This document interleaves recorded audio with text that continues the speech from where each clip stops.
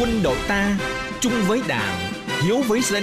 sẵn sàng chiến đấu hy sinh vì độc lập tự do của Tổ quốc, vì chủ nghĩa xã hội. Nhiệm vụ nào cũng hoàn thành, khó khăn nào cũng vượt qua, kẻ thù nào cũng đánh thắng. Kính chào quý vị và các bạn. Mời quý vị và các bạn theo dõi chương trình truyền hình Quân khu 5. Trong chương trình hôm nay có các nội dung đáng chú ý sau.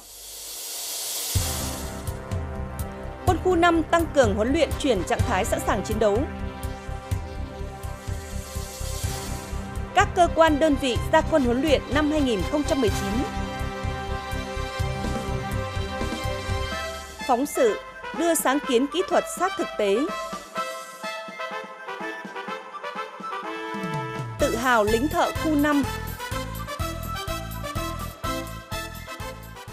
Sau đây mời quý vị và các bạn theo dõi nội dung chi tiết của chương trình.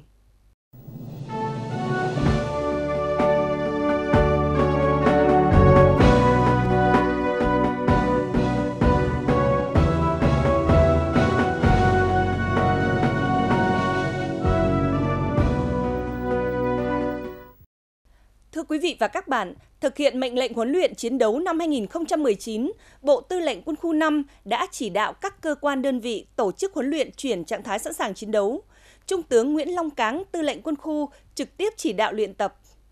Nhờ có sự chuẩn bị tốt về mọi mặt, các cơ quan đơn vị đã tổ chức luyện tập đúng nội dung kế hoạch đề ra và đạt được kết quả khá tốt cấp ủy chỉ huy các cấp đã quán triệt và thực hiện nghiêm mệnh lệnh huấn luyện chiến đấu, làm tốt công tác chuẩn bị về văn kiện, vũ khí trang bị, vật chất, phương tiện bảo đảm. Cán bộ các cấp nắm được thứ tự, trình tự các bước chuyển trạng thái sẵn sàng chiến đấu, thực hành đúng đủ nội dung theo kế hoạch đã đề ra sát thực tế. Qua luyện tập, góp phần nâng cao nhận thức, ý thức sẵn sàng chiến đấu của cán bộ chiến sĩ, rèn luyện năng lực, phương pháp, tác phong công tác và khả năng tổ chức hiệp đồng cho chỉ huy cơ quan đơn vị các cấp – đáp ứng yêu cầu nhiệm vụ sẵn sàng chiến đấu bảo vệ Tổ quốc Việt Nam xã hội chủ nghĩa trong thời kỳ mới. Thưa quý vị và các bạn, cùng với các đơn vị trong toàn quân, các cơ quan địa phương đơn vị lực lượng vũ trang quân khu 5 long trọng tổ chức lễ gia quân huấn luyện năm 2019. Tại lễ gia quân huấn luyện, khối 4 cơ quan quân khu xác định tiếp tục triển khai tổ chức thực hiện nghiêm nghị quyết của Đảng ủy quân khu về nâng cao chất lượng huấn luyện đến năm 2020 và những năm tiếp theo – tập trung luyện tập vững chắc cho chỉ huy cơ quan, chú trọng bồi dưỡng năng lực làm tham mưu cho đội ngũ cán bộ các cấp, hướng dẫn chỉ đạo các đơn vị trên các mặt công tác, đồng thời bồi dưỡng cán bộ, nhân viên về nhiệm vụ quân sự, giáo dục chính trị theo chương trình quy định, xây dựng nền nếp chính quy, thực hiện tốt công tác bảo đảm an toàn trong huấn luyện và các hoạt động khác.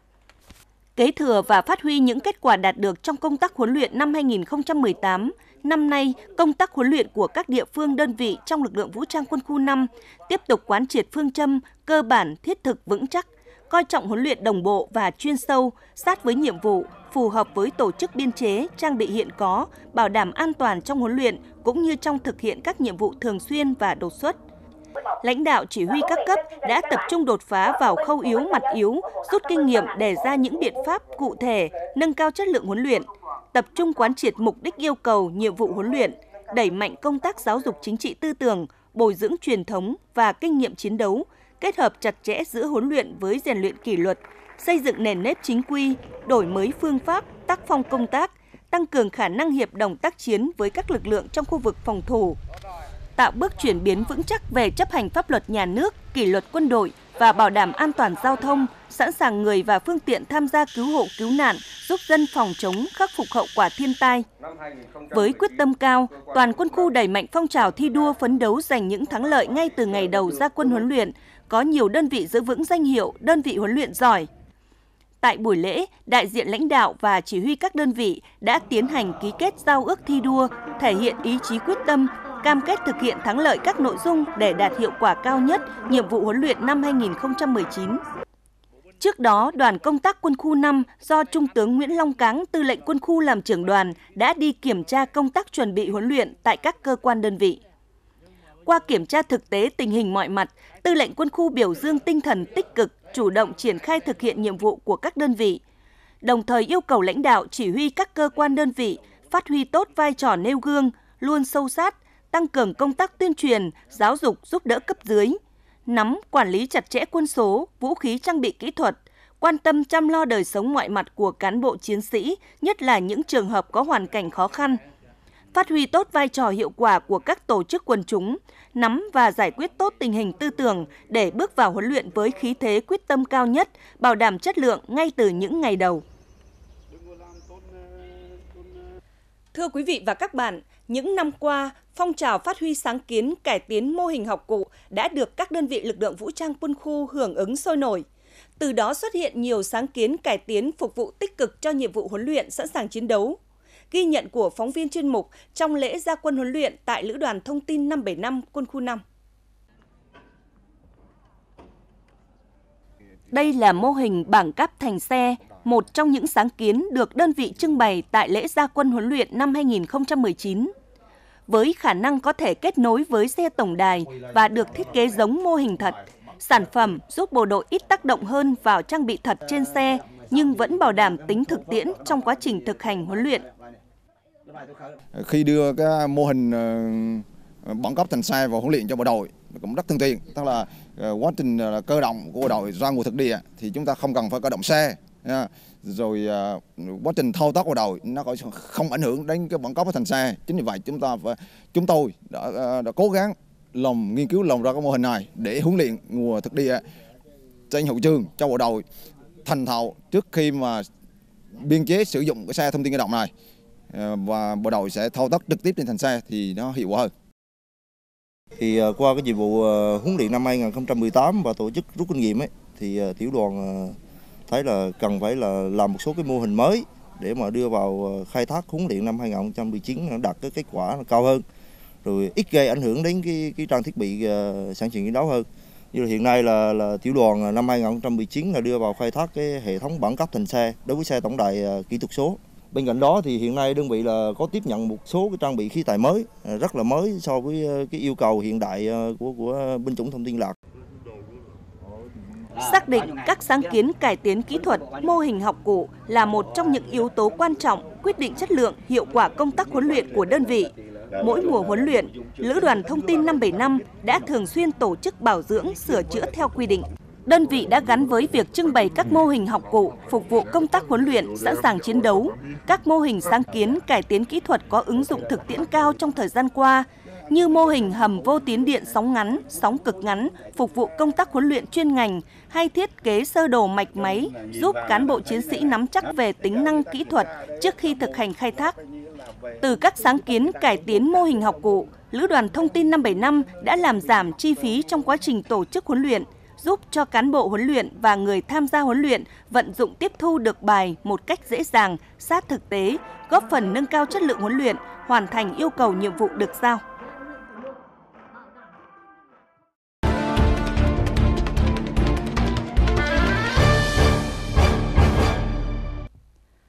Thưa quý vị và các bạn, trong hai cuộc kháng chiến chống Pháp và chống Mỹ, công nhân viên chức lao động quốc phòng trên cả hai miền Nam Bắc đã hăng hái thi đua lao động sản xuất giỏi, khắc phục khó khăn, hoàn thành tốt mọi nhiệm vụ.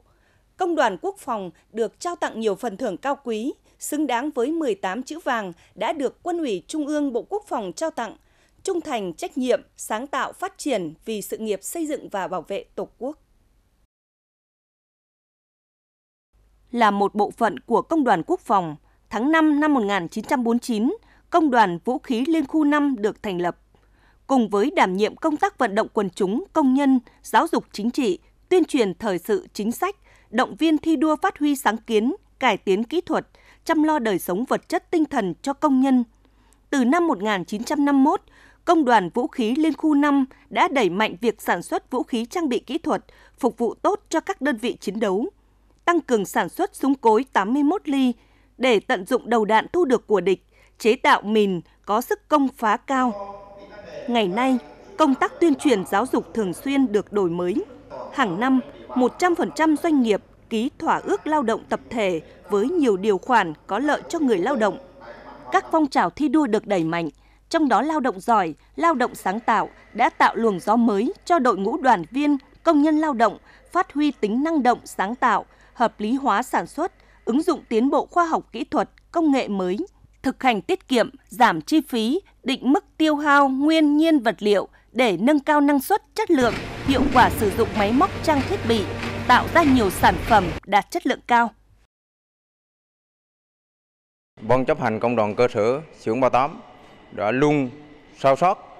tạo mọi điều kiện để anh chị em phát huy năng lực của mình không ngừng nghiên cứu sáng kiến đúc kết kinh nghiệm thực tiễn đổi mới sáng tạo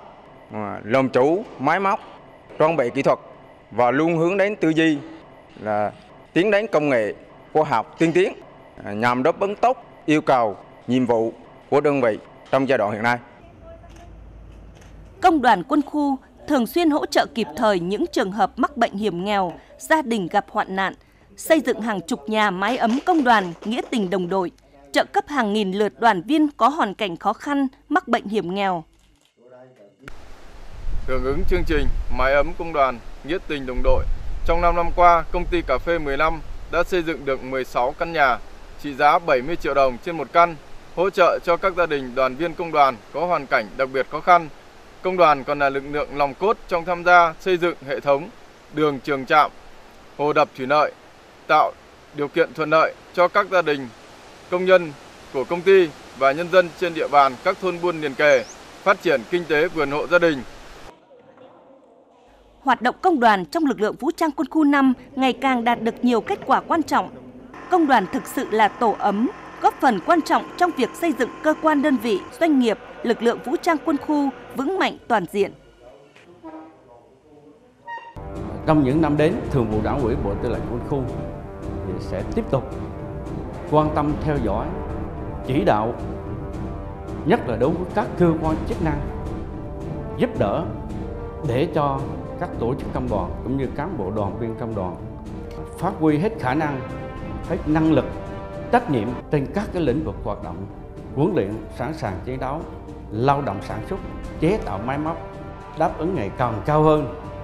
nhiệm vụ quân sự quốc phòng trong giai đoạn mới. Phát huy truyền thống vẻ vang của công đoàn quốc phòng, cán bộ, đoàn viên công đoàn, công nhân viên chức, lao động quốc phòng quân khu không ngừng phấn đấu, nêu cao phẩm chất người lính thợ, ý chí tự lực tự cường, đoàn kết sáng tạo, thực hiện thắng lợi nhiệm vụ được giao trong tình hình mới.